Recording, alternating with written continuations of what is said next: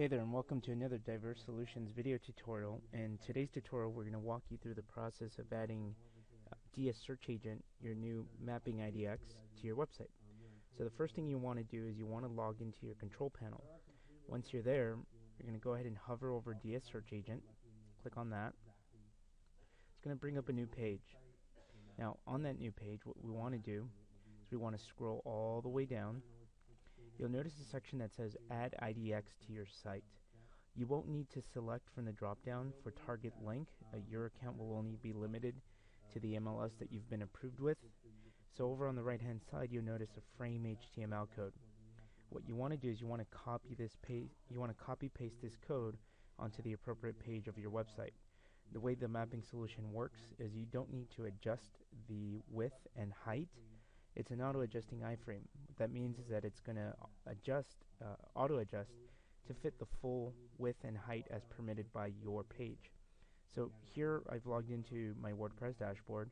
I've clicked on Add New, and I'm going to title this page Search for Homes. You're going to toggle from your visual editor over to your HTML editor. You're going to paste your script code. And in this case, some WordPress themes have varying uh, page templates.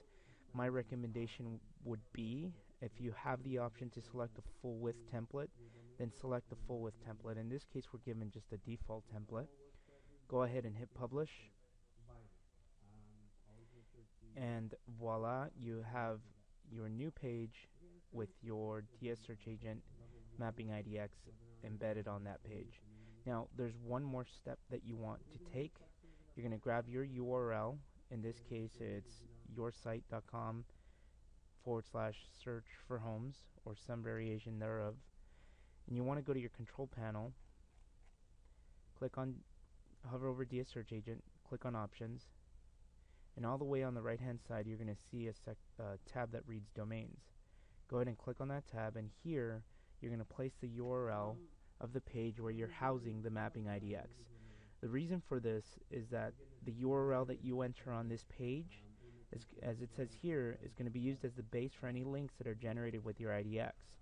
So if you use a map module, a widget, a quick search, anywhere on your website, when somebody clicks on a link to view a listing, it's going to take them to the mapping solution housed on this page as opposed to the default idx.diversesolutions.com.